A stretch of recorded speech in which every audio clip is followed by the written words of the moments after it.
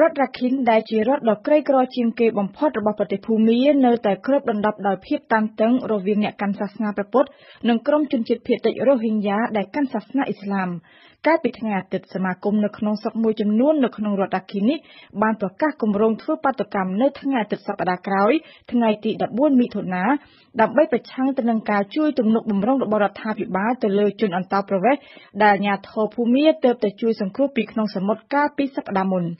នៅក្នុងរយៈពេល2សប្តាហ៍កន្លងទៅ កងទ័ពជើងទឹកភូមាបានរកឃើញទូកពីរដឹកជនអន្តោប្រវេសន៍ជាង900នាក់ដែលត្រូវបានក្រុមឈ្មួញបោះបង់ចោលនៅក្នុងសមុទ្រក្បែរដែនទឹកភូមា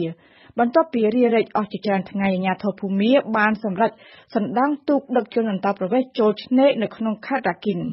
បើទោះបីជាអាជ្ញាធរប្រកាសបញ្ជូនជនអន្តោប្រវេសន៍ទាំងនោះចេញពីប្រទេសភូមានៅថ្ងៃខាងមុខក៏ប៉ុន្តែវិធានការជួយសង្គ្រោះជនអន្តោប្រវេសន៍និងយកមកដាក់នៅក្នុងទឹកដីរ៉ាគីនេះបានបង្កឲ្យក្រុមអ្នកជាតិនិយមភូមាជាច្រើនខឹងសម្បារ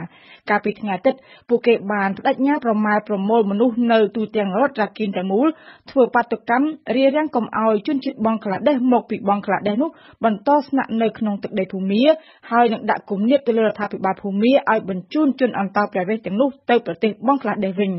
ទាំងប្រជាជនហើយនិងរដ្ឋាភិបាលភូមាបានប្រកាសមិនទទួលស្គាល់ជាផ្លូវការជនជាតិរ៉ូហីញ៉ាជាប្រជាជនភូមាក៏ប៉ុន្តែជាជនជាតិបង់ក្លាដេសដែលបានចូលមករស់នៅខុសច្បាប់នៅក្នុងប្រទេសភូមាជនអន្តោប្រវេសន៍150នាក់នៅក្នុងចំណោម900នាក់ដែលអាជ្ញាធរភូមាបានជួយសង្គ្រោះពីក្នុងសមុទ្រនោះគឺជាជនជាតិបង់ក្លាដេសដែលត្រូវបានគេបញ្ជូននៅថ្ងៃច័ន្ទនេះទៅបង់ក្លាដេសបន្ទាប់ពីអាជ្ញាធរភូមាហើយនិងបង់ក្លាដេសបានយល់ស្របគ្នាពីដើមកំណើតរបស់ពួកគេ